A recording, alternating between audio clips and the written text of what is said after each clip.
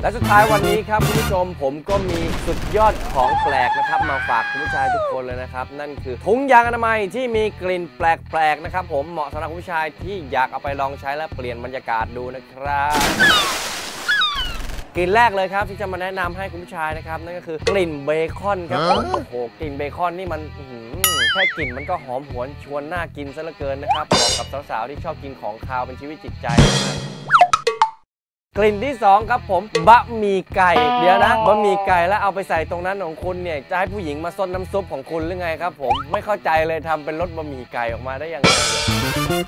ต่อไปฮะ กลิ่นทุเรียนครับผมคุณผู้ชมทุเรียนนี่ต้องบอกว่าเป็น king of fruit นะครับผมซึ่ง king of fruit เนี่ยเอามาใส่ king ของคุณเนี่ยนะครับผมมันก็ดีกับคนที่ชอบทุเรียนครับผม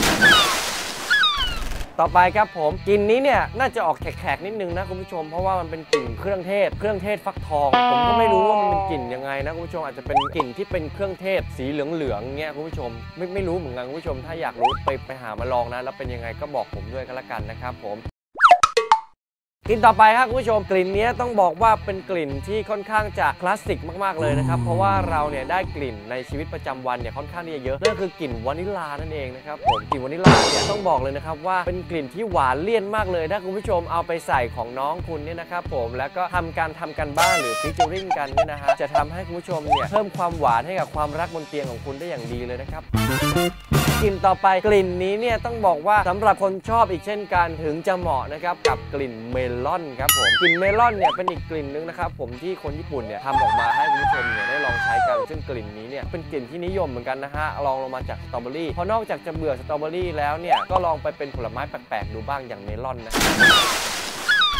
ต่อไปครับคุณผู้ชมถุงยางกลิ่นนี้เนี่ยเป็นกลิ่นที่คุ้นเคยอีกเช่นกันกับกลิ่นโคลาครับคุณผู้ชมกลิ่นนี้เนี่ยไม่เข้าใจว่าทำทำไมแต่เอออยากถามผู้หญิงเหมือนกันนะ ถ้าลองอมดูแล้วบอกผมด้วยนะว่าซาหรือเปล่า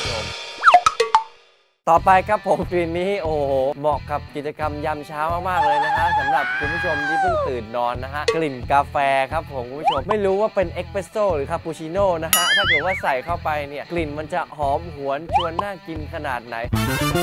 และสุดท้ายครับผมกลิ่นนี้เนี่ยต้องบอกเลยนะครับว่าเหม็นแน่นอนนะคุณผู้ชม ถ้าสมมติว่า featuring เสร็จเรียบร้อยแล้วเนี่ยรับรองครับเหม็นไปทั้งวันนะครับผมกลิ่นนี้กลิ่นกระเทียมครับผมกลัวเรื่องไงครับกลัวว่าแฟนคุณจะเป็นผีดิบเหรอฮะถ้าสมมติว่ากลัวแฟนคุณเป็นผีดิบใช้ถุงยางกลิ่นกระเทียมของเราครับผมรับรองฮะถ้าแทงเข้าไปแล้วแฟนคุณร้องเนี่ยแฟนคุณเป็นผีดิบแน่นอนครับผม และนี่นะฮะ เป็นถุงยางทั้งหมดนะครับ ที่เป็นกลิ่นแปลกๆ ที่เอามาให้คุณผู้ชายเนี่ย ได้ลองดูลองใช้กันนะครับ แต่ยังไงก็แล้วแต่นะฮะ คุณผู้ชายทุกคนจำไว้นะครับ ว่าอย่าไปสร้างความเดือดร้อนให้กับเขานะครับผมถ้าจะมีรายการนะฮะ แนะนำนะครับว่ายืดอกพกถุงครับ